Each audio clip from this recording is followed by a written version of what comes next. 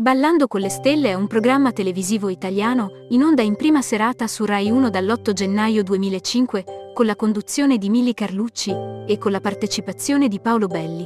Il programma, adattamento italiano del talent show britannico Strictly Come Dancing, è il più longevo varietà della Rai attualmente in onda.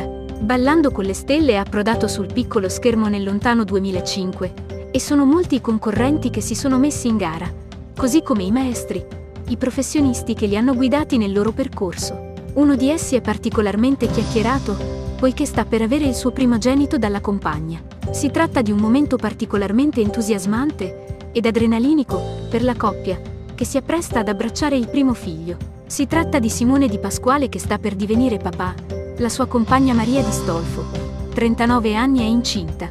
Di recente ha rilasciato un'intervista per il settimanale di più svelando il nome del nascituro, il bimbo si chiamerà Gabriele, è un nome per noi meraviglioso e simbolico, che abbiamo scelto perché un anno fa io e Maria abbiamo dovuto affrontare il dolore di aver perso, agli inizi della gravidanza, la creatura che aspettavamo.